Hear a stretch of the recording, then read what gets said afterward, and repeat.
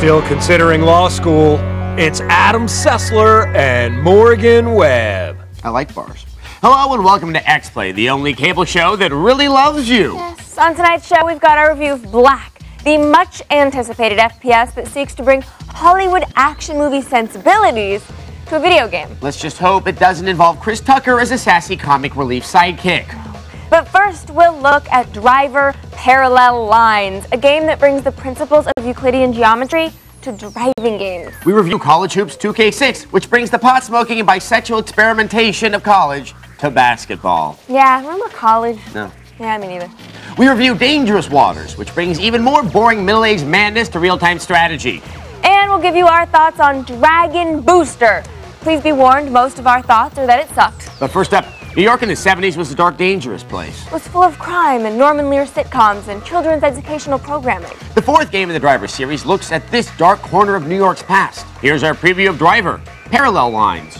Mm, we get it, there are strippers in the game. And we should also make it clear that Driver Parallel Lines does not involve any actual Euclidean geometry. Some trash-talking transverse angles could have really livened up the games, though. Mm, see, kids, that's the kind of self-congratulatory, unfunny joke you can only make with a college degree. Stay in school.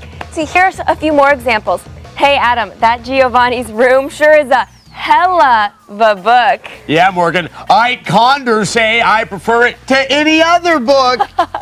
See, ah. intellectual masturbation is a great hobby that you can only learn in college. If you like to learn to be a pretentious prick, but don't have the smarts to get into college on your own, consider basketball. And if you don't have the athletic skills to play actual basketball, consider our review of College Hoops 2K6. I feel like the game sort of missed out on the nuances of college. Hmm, you mean never going to class because you spend all your time playing Xbox and smoking marijuana cigarettes? I'm worried about crippling loneliness and eating burritos for three years. The burrito is nature's perfect food. It's food in tube form. Yeah. After the break, Sessler and Morgan Webb. Welcome back to X-Play. Different types of games appeal to different kinds of players. MMO fans, for example, are mostly shut-ins who love doing complex math. And first-person shooter fans are full of rage that will eventually culminate in them killing most of their high school. But the saddest, most pathetic group of all are the fans of historically accurate real-time strategy. Middle-aged men who love World War II and reading books about planes. You know them. They're your dad, your uncle, your history teacher. They're fine people. Just don't get in a conversation with them. They start talking about Stalingrad. Say goodbye to four hours. But if you have to talk about something, consider Dangerous Waters. Here's our review. Out of five. I love the Navy. Now where's my paycheck? You know, I kept hoping that the whole dangerous water thing would turn out to be a bottle of Evian that turned everyone into zombies. No, though it is possible this game could hypnotize you into a state that was like being the living dead. Yeah, well, you know, it's not really the water that's dangerous so much as the submarines. Yes, they should have called it Dangerous Metal Tube. You know, I don't care how boring it is. I would buy a game called Dangerous Metal Tube. I mean Food Tube. Up next, Sessler and Morgan Webb. That's right. Burn. Welcome back to X-Play. Canada is America's neat, polite neighbor to the north. Canada is really, really organized and concerned about the environment. Canada never really wins any wars, but they are really good at peacekeeping. There are lots of great things about Canada.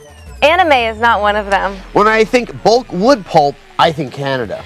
But I think anime, not so much. This is the core problem with Dragon Booster, an anime series made in our beaver-loving neighbor to the north. So we're doing it. We're reviewing yet another anime game. You can start emailing us as soon as the review starts. Here's Dragon Booster. Irving. Oh, anime games, will you ever not fail us? Hey, you fanboys blind to the failings of your beloved series. Wake up! If you keep buying the games just because you love the cartoons, they'll keep making crappy games. We don't mind, you know, we like writing a scathing review now and again. But if you want decent games, you're going to have to demand more. More! In a moment, it's Adam Sessler and Morgan Webb. Welcome back to that show we do. You know, X Play.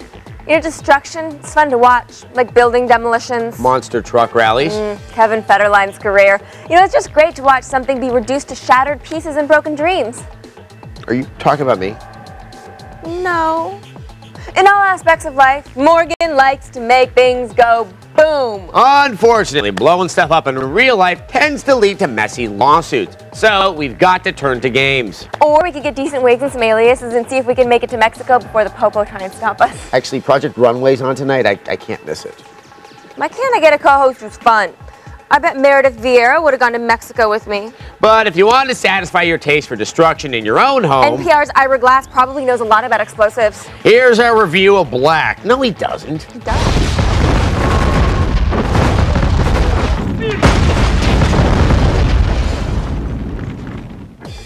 Lots of hype, but pretty average entertainment. So essentially, it's the Dane Cook of first-person shooters. There are some neat aspects to the game, Yeah, like when you shoot something, it leaves visible and persistent damage. which would be great if the game didn't suck. It's kind of like driving an 88 Yugo with a $9,000 stereo. I've said it before, and I'm going to say it again. Stay off the Yugo. All right, it's time for viewer mail. Today's viewer mail comes from Greg. Greg writes, I bought Civilization 4, but I returned it when I found out it was a turn-based game. I didn't even give it a chance. I like Age of Empires 3 and games like that, so I guess my question is, should I give Civ 4 a chance and re-buy it? It must be a good game to have gotten a perfect score. Hey, Greg, here's a crazy Greg. thought. Try playing a game before you decide you don't like it. Yes, Civ 4 is amazing. Most turn-based strategy games can get dull, I admit, but Civ 4 does by far the best job in the series of making the gameplay seem quick and smooth. Plus, you get to start religions in that one. That's Yeah. something you so rarely get to do in your average first person shooter. But it will satisfy the